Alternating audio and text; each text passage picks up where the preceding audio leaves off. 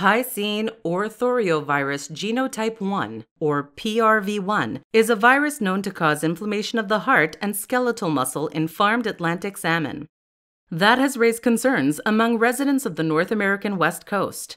Are Pacific salmon at high risk of disease from PRV1? New scientific evidence suggests no, at least for one strain of the virus.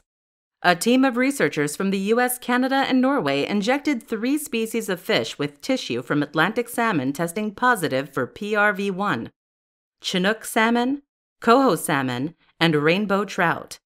This method of infection is known to cause the hallmark symptoms of heart and skeletal muscle inflammation. These symptoms include severe heart inflammation, a low red blood cell count, and the formation of inclusion bodies in blood cells. The team sampled infected and control fish at regular intervals to assess levels of viral RNA, the relative number of red blood cells in blood, and any signs of inclusion bodies or diseased tissues visible under a microscope. RNA analyses revealed that PRV1 replicated in 100% of infected fish across all three species. But in no case was infection with the virus associated with any notable mortality.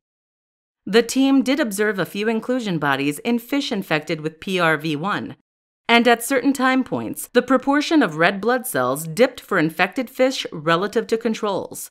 But no fish showed definitive signs of anemia, and no lesions consisted with severe inflammation were observed.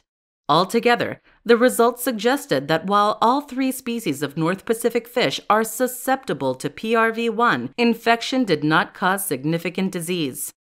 Yet the authors note that they looked at only the early freshwater life stages of these salmon. In addition, while PRV1 is currently the only strain of the virus known to exist in Western North America, other strains have been reported in other areas of the world, including Europe and Japan. So while their results might rule out severe disease for certain fish infected with PRV1, the team urges management agencies to be cautious Introducing exotic strains of PRV could have a vastly different effect on North American wildlife and aquaculture.